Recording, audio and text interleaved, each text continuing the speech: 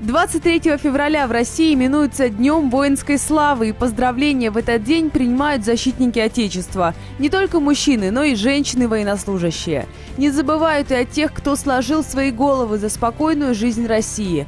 Традиционно 23 февраля во всех городах проходят памятные акции, возлагают цветы к памятным местам. А до начала всех торжественных мероприятий сотрудники Госадомтехнадзора проверяют состояние монументов.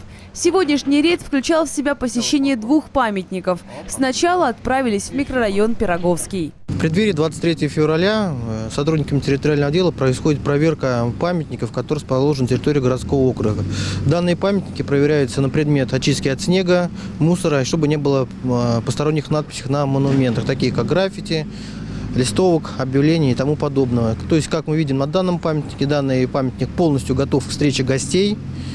Снег вычищен, мусор убран, чисто и красиво. Этот обелиск был отреставрирован в 2015 году. Обслуживающая организация следит за порядком ежедневно, ведь центральный сквер, где расположен памятник, является излюбленным местом для всех пироговцев.